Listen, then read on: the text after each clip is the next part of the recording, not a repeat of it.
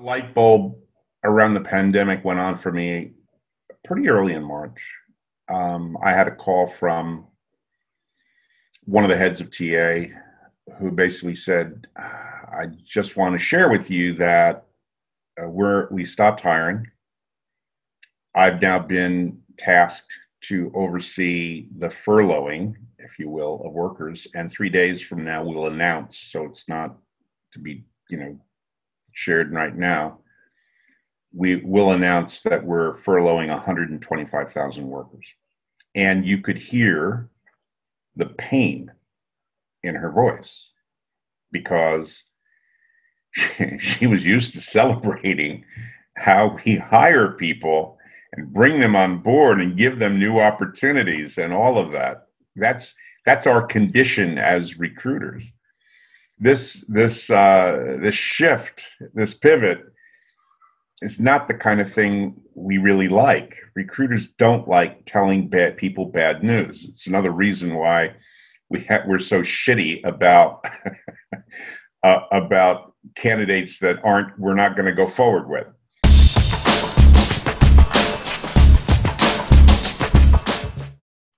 Welcome to TotalPicture Media and another edition of WTF 2020, an influencer's guide to navigating the shit show.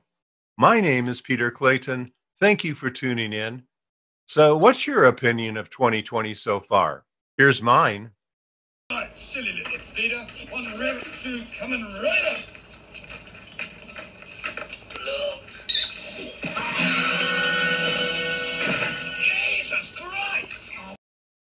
Between COVID 19, climate change, Black Lives Matter, our political shit show, a government in complete disarray with no leadership, no conscience, no integrity, no honesty, we're adrift in a sea of daily, what happened now? Is it every man, woman, and child for themselves? It sure feels like it.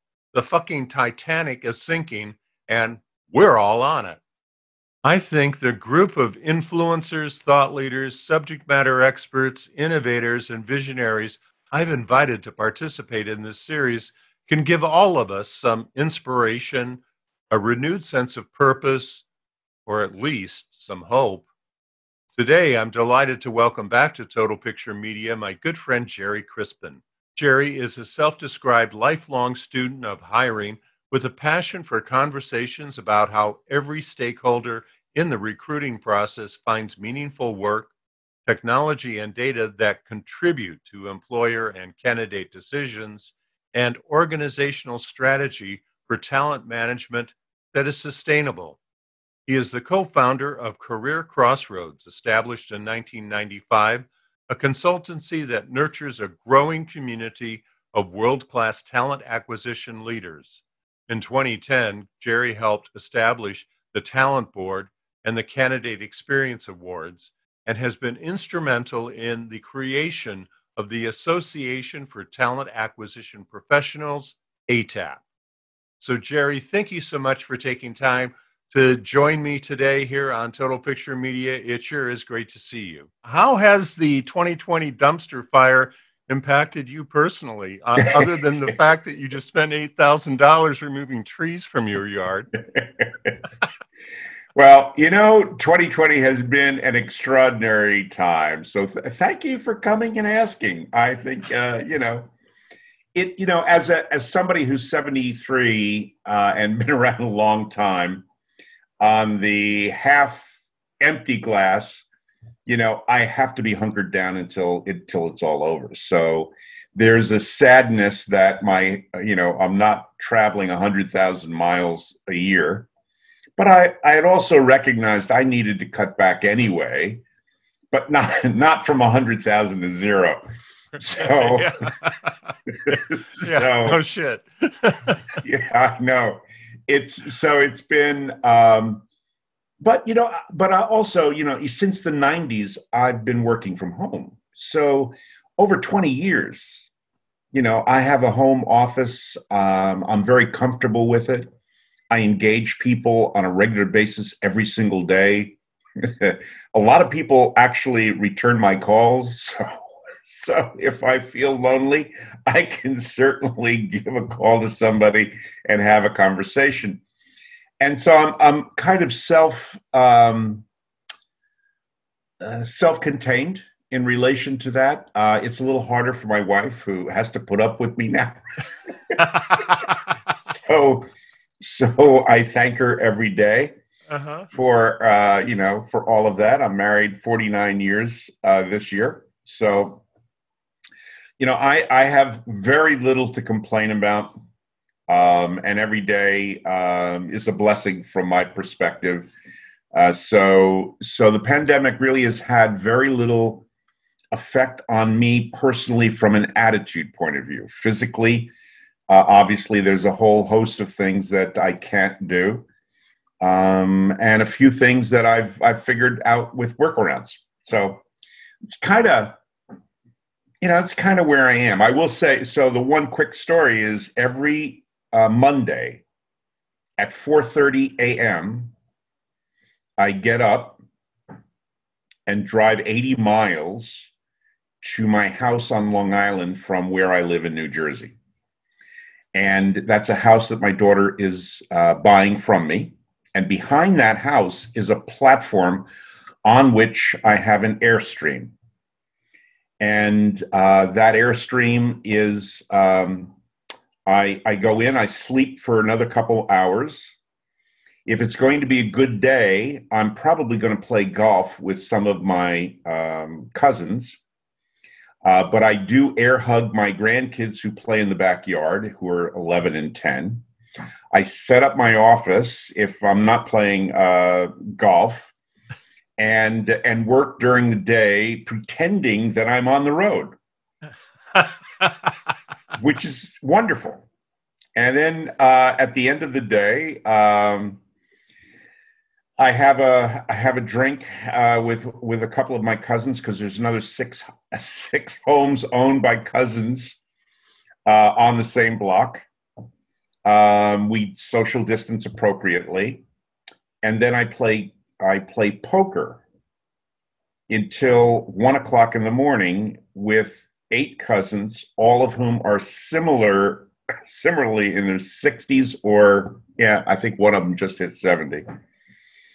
Um, and all of us are, are hunkered down, uh, so we know that if if any of us get it, we'll probably kill all the rest of us. And so we're pretty careful about that. But we've been playing poker together since 1985. Wow. And then I come back to my Airstream because I don't want to drive home in the middle of the night anymore. I sleep for about four hours and then get up and drive home. so so every Monday is like I'm back on the road kind of thing. Oh, that's great. That is great.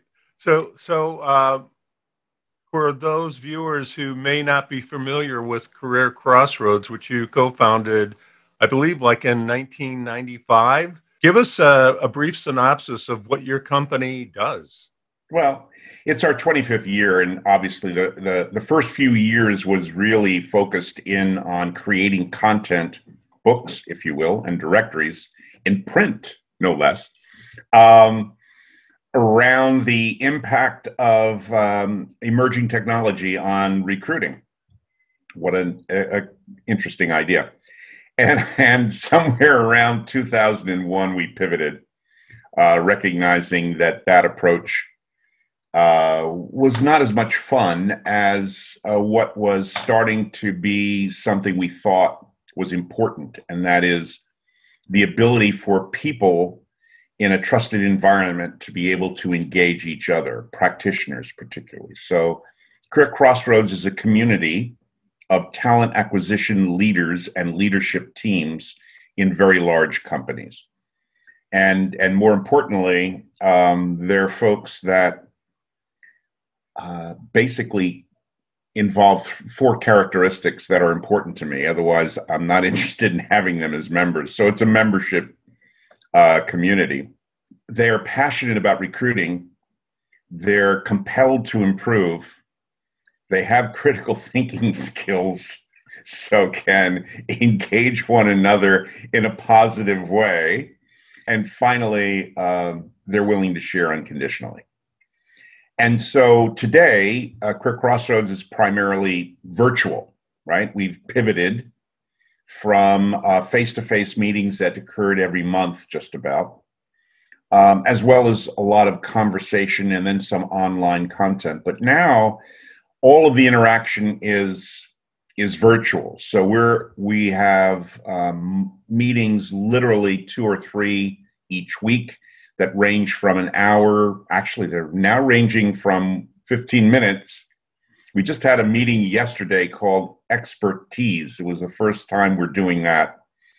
And we're interviewing a series of experts, some practitioners, some uh, who are not practitioners, but certain issues uh, and we had 60 of our members show up. So we have 150 members total. We had 60 of our members come in for 15 minutes uh, to hear one of our members talk about a, a particular practice that they're using um, that people are interested in.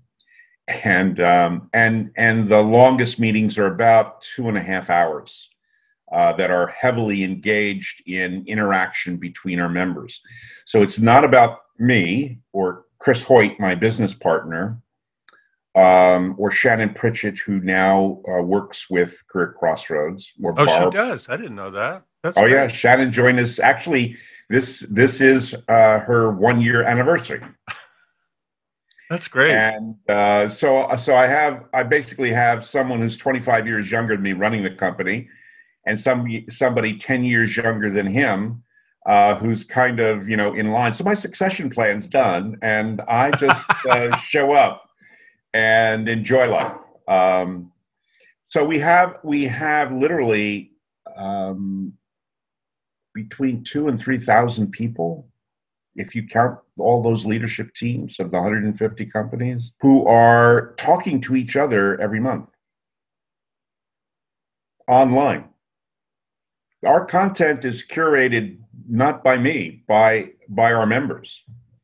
So it's a matter of how we organize that content to be searchable and engaging and useful for the the folks. So we keep we have an awful lot of um, developed approaches and practices to keep our members aware of what's happening right now with each other and and people are hungering for that this is this is a time in which people have to make decisions under extreme circumstances.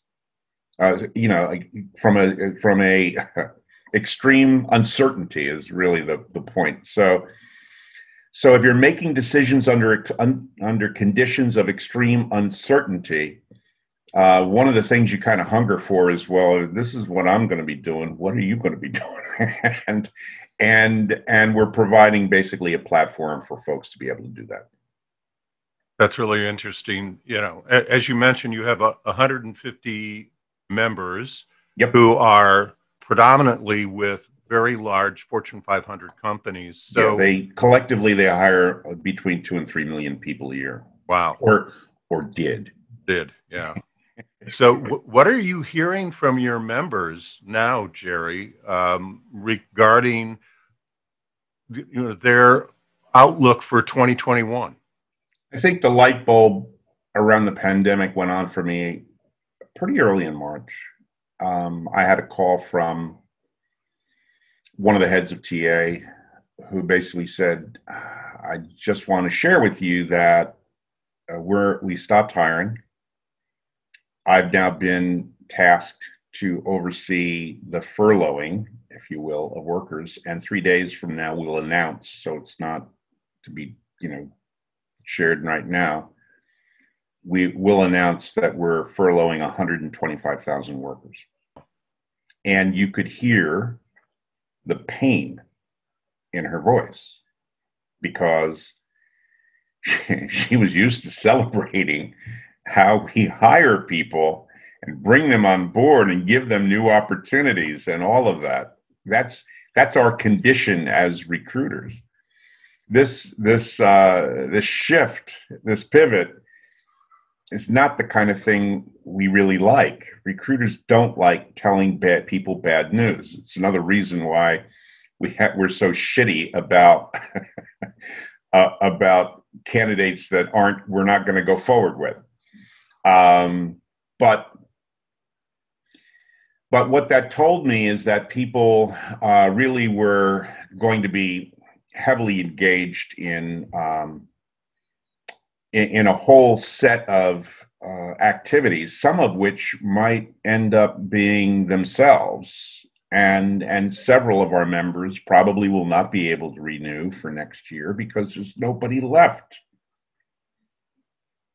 If you yeah. think about it, what what what would you do if you're, I don't know, United Airlines, and you lay off 9,000 people at the end of September, um, all of whom, by the way, probably are not going to get another job anytime soon because it's kind of a unique job. And in terms of being an airline stewardess or steward, or you know any number of different kinds of things. And by the way the other airlines aren't hiring either. Um, and and when when is the next time you're going to start hiring? Well you're not going to really be starting to hire. At some point you're going to start bringing those people back.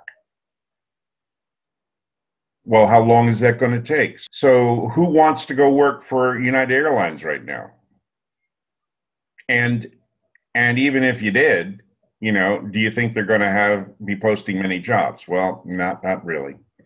So you don't really need any of those lots of people. So so for some time now, the leaders of talent acquisition have left uh, there, and and do you need to spend time, uh, you know, paying uh, for a community that? Um, so that's not going to happen either. So we we've we've had a few of those there's no question about that. And and we've had a number of folks who've joined us in part because they they want to engage their peers. And there are other peer communities as well. And i just encourage folks to to participate in ways that give them the kind of information that allow them to think critically about what they're doing knowing what other people might be doing not copying but but obviously be inspired by people who care about improving what they do. How has the dynamics of your meetings changed? I mean you've you know as you mentioned for years you've had these colloquiums with your members every month and now everything is virtual online. Yeah. Um how, how would i rather that... break bread so yeah you know, if I had my druthers, I love to break bread. I think that the most extraordinary experience that takes place in most of our lives has to do with over over over food. I mean, the best conversations, the most interesting. yes, well, good wine is is just a part of it, and Gallo is one of our members that I happen to love. So they um, they are very supportive of us. We had a um, a leadership meeting several weeks ago with about 60 uh, of our members and the heads of TA from those organizations. And the idea being to have a, a conversation. So we we thought, well, before we get into some exercises where people can talk about what's um, what's critical to them now and what they're doing about it, because again, it's not about me speaking, it's about them engaging one another. So so we find many different ways to facilitate that conversation in small groups, large groups, etc. We can do that face to face, but we can also do it virtually. And but we thought, well, let's let's have more of a break the bread kind of approach so we worked with Gallo to send uh, a half a case of wine to each of the 60 leaders of different wines that in, in their better from their better vineyards and had two sommeliers. Well, that's a perk. And uh, yeah, but but you know what? It was less it was less expensive than taking 60 people to dinner. at Yeah. a top at a top restaurant Right. in whatever uh, town we're in, where you need a private room for sixty people. That's not cheap. Uh, we don't do it by giving people box lunches and sending them off to the side. We, we do it by going to the best restaurant in whatever place we are. Well, we can't do that now. So, so we thought that this would be a way to kind of engage one another and in, enjoy the camaraderie, if you will, and learn something about about wines for those people who imbibe in adult beverages. And and we had a ball. And we had we had a couple people that don't drink. You know, they they took their wine, gave it to a friend. Um, but they enjoyed the learning and they enjoyed the camaraderie back and forth. And the conversations began uh, just very, very naturally after a couple of glasses of wine uh, about about a whole variety of things that that people want to talk about, and that went on for hours. That's cool. And and so I'm I'm just saying there are things you can do if you're innovative and creative and you understand what your basic values are that you could do online as well as offline. You can be honest and uh, forthright and transparent and engaging, if you will, online as well as face to face. But you know, there is there is a nuance that makes it easier. Um, it it helps that you've had a lot of face to face meetings with some of the same, most of the same people, right?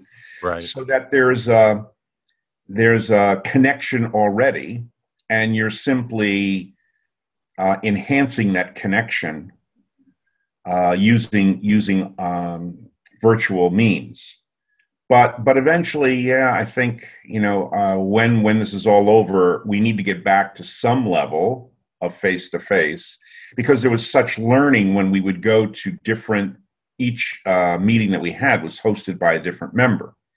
So being able to go to Nike's um, uh, campus in Portland, for example, um, is is is really a learning event for anyone who who's never been there, and trying to understand what their how they create and and uh, enhance the culture that they're trying to to deal with from their from their employment brand point of view.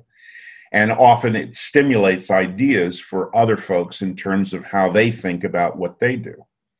So so i love I, I love both versions of what we're doing. I know that we'll be more balanced, probably virtually. We'll be working a lot harder to create different kinds of virtual experiences that fit the frame of what we value, which is members engaging each other with transparency and trust about the how people will respond that if you share the vulnerability of what isn't working in your organization it's not going to show up in the wall street journal. And you're probably going to get some good suggestions from smart sharp bright people who who care about your success as much as their own. Um, and and so finding that building that kind of a community is has always been my aspiration and and i think we've we've achieved uh, a pretty good portion of that. Uh, i'm never satisfied uh, nor is chris nor is nor is shannon nor is barb. Um, we we constantly are attempting new things and sometimes those new things are going like well that one that one didn't work as well as we'd like. But but we keep looking at it from the point of view of how our members uh, respond to each other not to us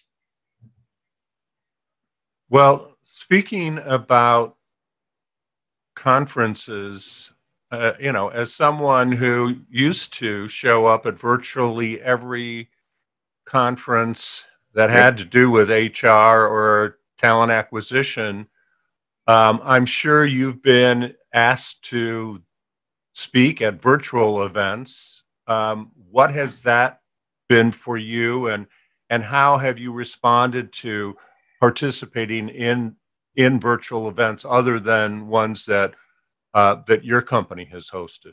What, what do you think about? Yeah, I think it's uh, it's a tough time for conferences right no now. No shit. Jesus. Not because you can't have them, because there's a lot of them. And I've been to, I don't know, 20 during the course of the last six, seven months.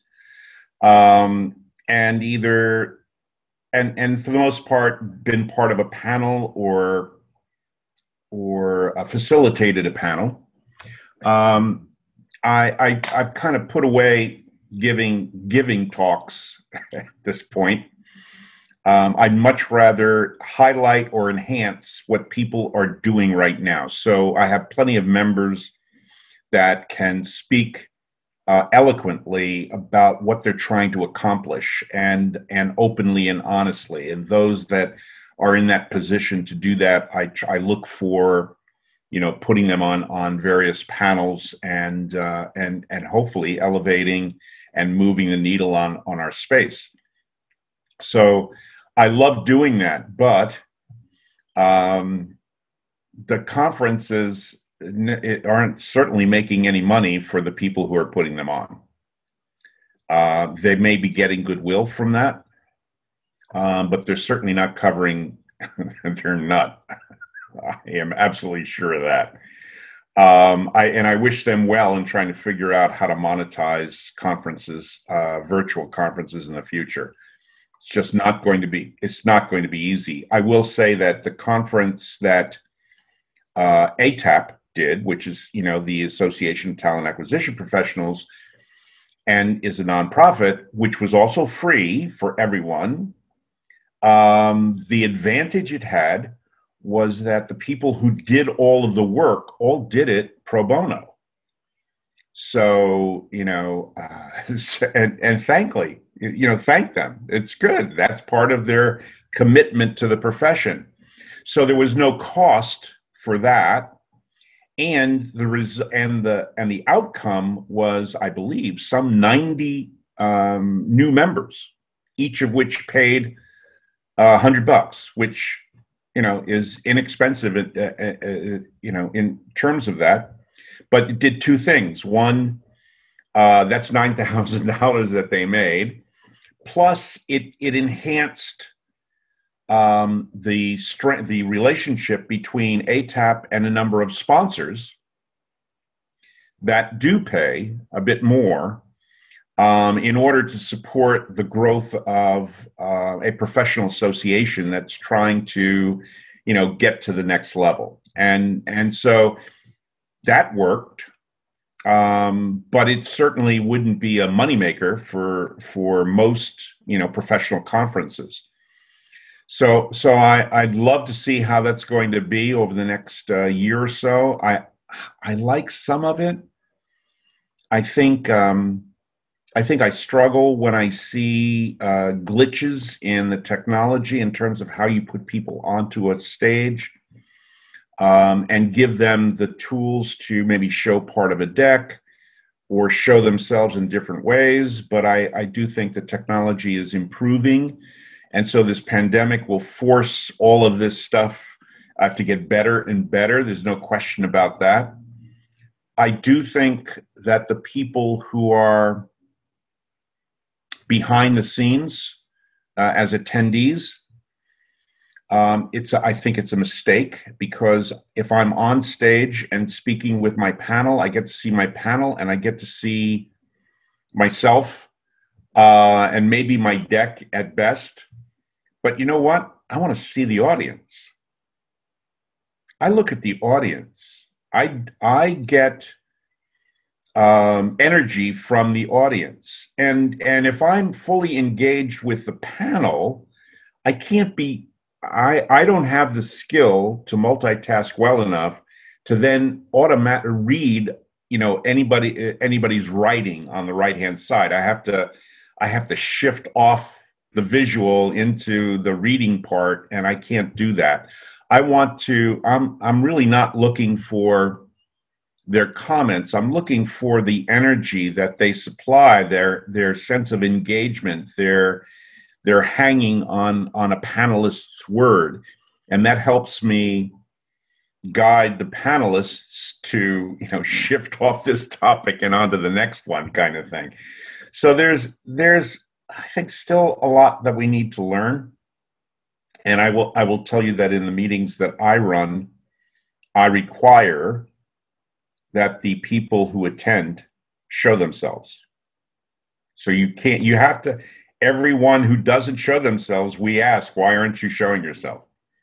And if they have a good enough excuse, we'll, we'll let it happen. But if there's 60 people in the room, there's only three or four that I can't see. And that gallery view, I can see 25 at a time. So I can shift between two or three, two or three, you know, visuals and see how people are engaging and then I can put them into small groups and I can be in those groups and engage with them, uh, but also see how they're responding to the issues. So, so it's getting better. I think conferences are going to have a, a tough issue. Uh, there's certainly going to um, there's a monetary uh, piece to that, and I'm sure that many many conferences have already lost a significant amount, and many of the people that work for them are no longer there. You know, the last time I saw you was uh, last December in Hoboken at EY, and you participated in oh, yeah. the um, boot camp that Steven Rothberg and, and College Recruiters has every year. And I mean, to your point of being on a panel and seeing the audience and having the audience react to that panel and then your ability to react to the audience mm-hmm. i mean that was a perfect example and steven isn't going to have um, his boot camp this december because he feels that there's no way to replicate the engagement that happens with his events uh, virtually. Yeah, he could do it on a several of them on a smaller scale. So he could. There's some things that he could do, and we we talk. We actually uh, cook together. so uh, I I'm, I'm part of a virtual group that every two weeks cooks an Italian meal. Really, and and different different people uh, a lead. So last uh, a week and a half ago, I, I led uh, Pasta Puttanesca.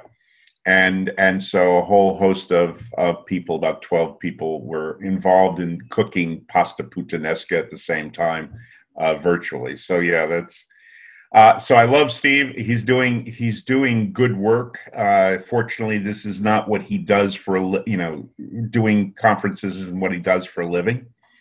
Um, and, I, and I'll tell you, the side issue is I get to meet people when I go to something like his.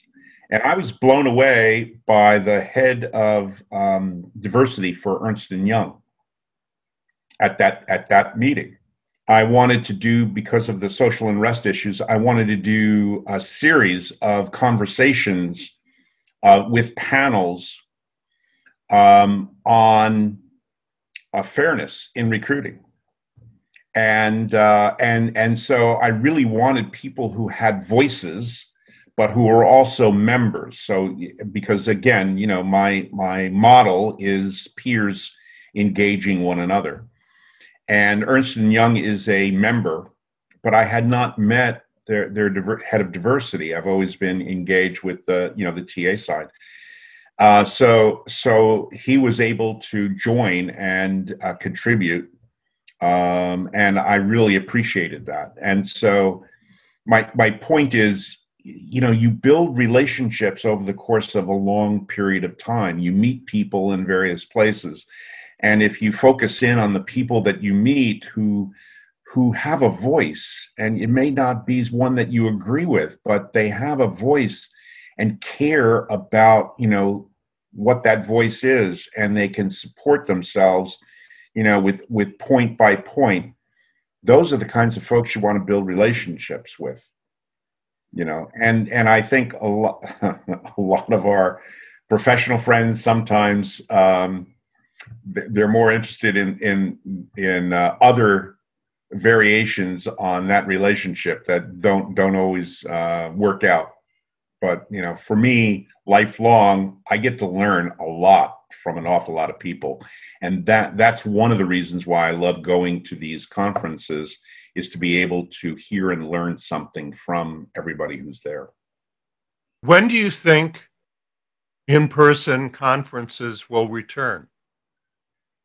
And that people will actually show up and sponsors and vendors and well um, come up with a, a really good vaccine that doesn't kill the first 200,000 people who take it because I, I suspect I'm not I'm not among the first uh, you know folks who are going to be in line. Um, so whoever whoever needs it first will get it, and uh, and probably within a few months uh, we'll we'll figure out what the problem is or the success of it is, and by then they'll have an, have made enough that uh, that I can get in line, and you know go to the doctor and say yeah I'm old enough. I'm I'm next in line kind of thing. So that's that's when I'm going the you know the day after I get a vaccine or the day after they tell me that the vaccine is taken or whatever, I'll be back on planes. I have no problem. I can't, you know, I'm not going to hide out um, with with fear, whatever. I got my flu shot this week.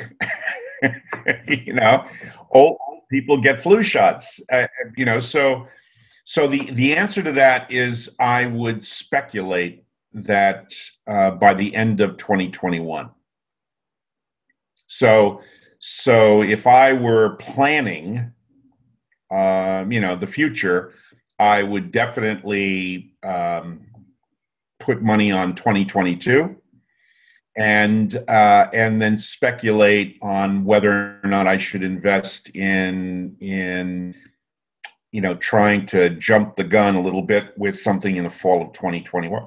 Yeah, I don't think anybody in my in my era, uh, working your way down is going to be excited about going to a crowded uh, venue um, anytime in 20, 2021 early on. Um, I love the idea of um, drive-ins and right. and experiment, but you know these aren't money makers, and they're not. They, they really aren't the the kind of thing where you can go over and hug somebody. I I actually care about an awful lot of people, and I like I like going up to them and hugging them. And you know I can't do that. I can't even do that with my grandkids. So so especially my grandkids that you know who knows what the hell they've got so so you know that used to give me colds every time I did uh, engage them. So you know, I've I've been free of colds for for nine months now. That's great. so back to uh, your members for a minute. I would sure. imagine. I, I, would imagine that a lot of them, uh, their employees are all working from home, and they have found that that it actually does work. They save money the employees are more productive, they're happier. Uh, so when do you think people are going to return to their offices, if ever? Well, they first of all, it will happen, but it will happen in a very different way, in my opinion. And and we're we're we're totally focused on the fact that so many um, companies like Facebook and you know Microsoft whatever's they've all said you know don't we're not going to come back until July of 2021 or fall of 2021 most of them are already in that mode and then many are declaring uh, we'll never you know you'll always be able to um, be virtual. So so when we get over this though there will be some thought about the advantages of what an office might look like that is might be very different than where we are, right? Um, because you may need to prepare for the next pandemic.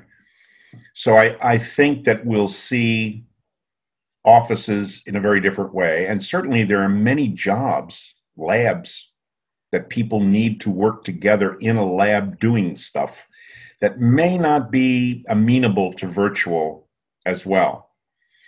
Um, I do think that you know obviously the technology tools will continue to increase, so virtual capabilities of working as a team collectively will will certainly improve, and and I think the balance of how many days during the course of a week, a month, or a year that you are actually virtual will be significantly higher than it's ever been for those that you're capable of.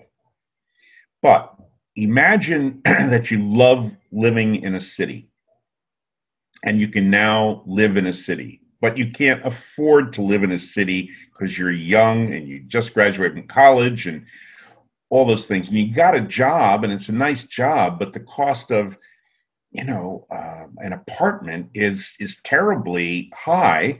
So you've got two roommates in 800 square feet, and the three of you only have two bedrooms. So that means you have to make up a couch every single night. You really want to work from home? Ain't going to happen. And so there's a whole host of people whose choices, because of their lifestyle, will be very different. Um, and we we have in our head ourselves when we had children or you know when we moved to the suburbs or any number of things but that's not everybody by a long shot. There's an awful lot of people who by and large grew up poor. They live in a tenement. They live in a you know a small block. They're still with their parents. They're living in their room. But they've got it, they've got a job that's getting them ahead. Where do they want to be? They want to be at the freaking job. they don't want to be they don't want to, you know, have to deal with, you know, where right. they are. It's not a fun thing. Or, or maybe they're in an area that's uh, that's in the city, but but you know has been overlooked a bit, uh, broadband doesn't work really well. There's loud noises of shit running by and everything else. Look, we we we tend to look at the world through our eyes. We need to look at the world through many other eyes of the people that we will hire in the next couple years. And so we're going to have to rethink everything um, so that we're not setting it up for old white dudes who like who like hanging out together and drinking together or whatever um, you know it's just going to be a different it'll be a different world for sure but it's definitely not going to be all one way or the other so has this tectonic shift that we've just experienced this year going to impact jobs in talent acquisition? Are those jobs going to be more contract based than full time employees? What are you hearing from your members? And what well, that's been the that's been the um, the trend anyway. I mean, the fact is, we will evolve, continue to evolve talent acquisition from where we are to even more specialization, um, as well as upskill capabilities so that when we automate, we'll be able to be more efficient in terms of how we oversee the jobs that are open. Um, right now, I would suggest that uh, up until the pandemic, anyway, if you looked at, uh, if you divided the number of people who are reporting to talent acquisition they may be recruiters, but they may not be, right? They could be an analyst or they could be a, a recruitment marketer or they could be a, a TA operations person or any number of things, right? Right.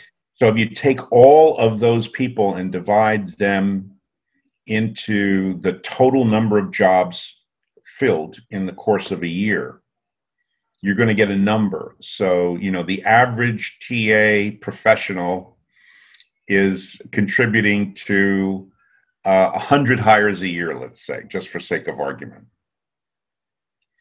I don't think that number has changed in 25 years since before we we we had Personic or whatever. So so what has the technology done to improve our ability uh, to be more efficient and more productive? And the answer to that is, mm, well, we had other issues that we needed to deal with, and that had to do with the quality of what we were doing more than it did the um, the numbers that we we produced. Now, obviously, there's there's differences in terms of some high volume recruiting activities, et cetera. But I think the next phase is automation for productivity. And, and a lot of things that can be automated, like scheduling, will be automated. And it's to me, it's amazing that it hasn't already. But but the fact is, uh, it hasn't if you look at all of the different companies out there and how many people are devoted specifically to scheduling, even with all of the scheduling, you know, technology out there, um, that's going to go away. All those people are going to go away. If your job was a coordinator in talent acquisition or working for for the operations, not for talent acquisition, but involved in in scheduling candidates and and other kinds of things that that's not going to exist. They'll all be gone.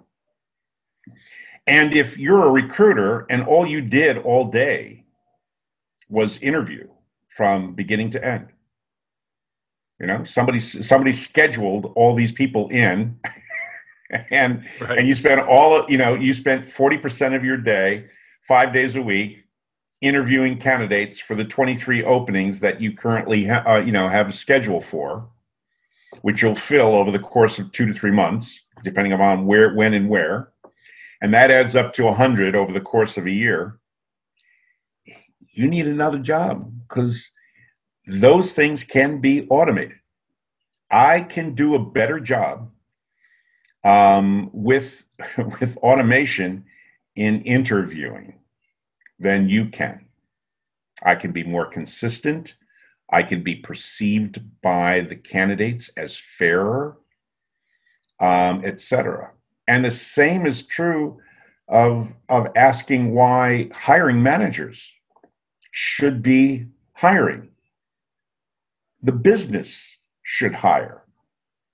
And the business doesn't necessarily need the hiring manager other than ensuring that the needs of the hiring manager are in fact met or the, the needs of the manager are met.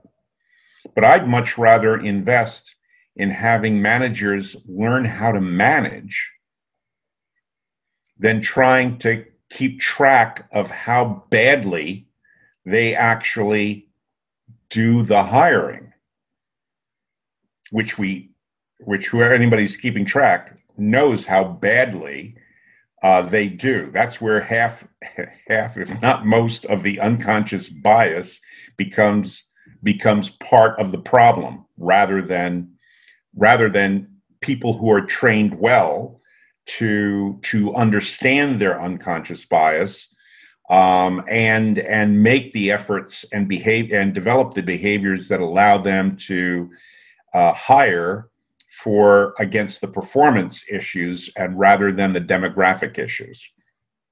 And and i think we have the we have the technology we have the tools we have the measurement capabilities um, to do all of those kinds of things. And and what we need are extraordinarily strong um, talent advisors who can have equal discussions between them and the and the managers to ensure that their needs are being met as well as understand the business well enough to understand the gap between what the hiring manager wants and what the business will need over time in order to succeed.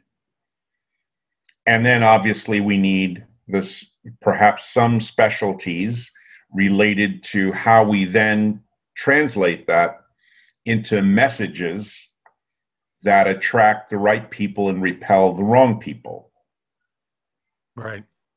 Yeah, and as you know, there are a lot of vendors out there, Gerry, working on AI and machine learning applications that actually take bias out of the interview and recruiting process. Um, they think they do. Yeah. There, there is no independent group that certifies that they've done what they say they've done. So Right. you let me know when any one of them um, decides that they aren't that that claiming that I've done it uh, equals having done it. It just doesn't work that way. So I would like to be able to test independently a, a set of data that in fact uh, it does do that. Now uh, granted i understand that algorithms can be developed around those kinds of issues. Everyone is working on them and each of them says my algorithm is the right algorithm. So they can't all be the right algorithm and they That's right. can't all be the same algorithm. So tell tell me how they're building this that standard in so we're we're on a we're on a path in the right direction. We still have a ways to go. Um, and the question is uh, if you're replicating your the ability to predict what the hiring manager would choose then you're incorporating the bias of the hiring manager if you if you're pretty clear on the ability to one understand what's underrepresented in that group. So if that job or job family is severely underrepresented from a gender point of view or from a racial point of view then then my interest is in creating a pool of candidates that includes sufficient qualified candidates from underrepresented groups that I can build a slate that will help move this needle so that our our goal as a value for the business is to is to look a little bit like the country, the region, the people that we sell to.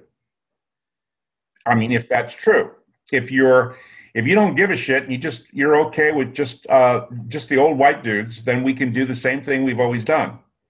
But if you're if you're really engaged in saying I I need to move the needle, then that means you need to be hiring uh, that underrepresented group in a proportion greater than the proportion in which they're leaving that group. That means you need to know what the proportion is. And then you need to stack the slate at a slightly higher level than that proportion and expect that on average, if everybody is equally, you know, qualified to do the job, that the selection over time would be would be at least at that proportion right and then and then we're we're doing something. I i got to tell you i know no company right now that has their act together that well. And and i know no company that would even uh, admit to that. But but everybody is starting to think like that. And and i think we have the potential to get there if we as a group as a as a industry begin talking about this whether awkwardly or not um, and saying well what do we need in order to do that well you know as a recruiter um, if you trust me if you've trained me properly if i have all the skill sets then I should be able to push a button and see what the representation is of any of the groups in my organization. That data should be accessible to me and available to me. I should be able to push a button and have an inference of the current pool of candidates that that my group has put together for this job and I should see what the representation of race, gender, etc. is within that group most company half the companies at least won't even consider giving a recruiter that but the recruiter is still held accountable for building a a diverse slate so we need to change the the headset to say if this is our value and this is our focus and these are our approaches to how we want to move forward then we need to empower the people who are doing the work and then hold them accountable for delivering against that work. And then if I deliver a 40% slate, diverse slate over to 100 different um, hiring, ma- hiring managers today, um, I'd like to push a button and see what their selection was by comparison. Was it 40%? Yeah. You know, should it be, what is the probability that it would be 5% and not an institutional bias, systemic bias being operating, let alone an individual unconscious bias operating? So we we have the ability not only to do those things, but to use data and statistics to pinpoint where our problems are and then work on our damn problems but many companies won't even do the calculations won't even do the work to to find out whether there's a disparity in pay between women or in race in the given job. They won't even do the calculation because they're afraid of being held accountable for for it. And i'm going hold yourself accountable. Go make it happen now. Show that you're doing change. Then you can defend yourself. You know so I think we're coming into an era where these kinds of conversations will move the needle, but what it will take is getting beyond an individual corporation and have many corporations step up and say, this is what we need to do in order to call ourselves a legitimate recruiting function. And if you're not doing these things, don't call yourselves a recruiter. Yeah, but it it, requires the C-suite to buy into all of this for Bullshit. this to happen. I can I can leverage the yeah. You, you, the answer is it's so much easier if the C-suite is is leading the way, right? Because right. because shit rolls down.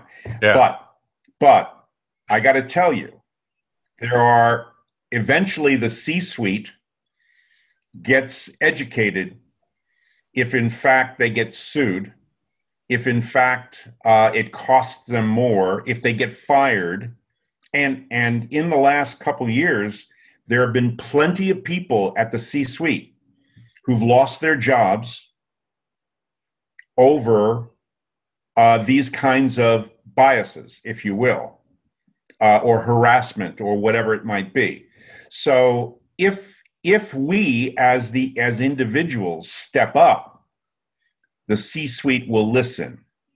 If we're if we're just if we're just following orders, then we'll continue just following orders.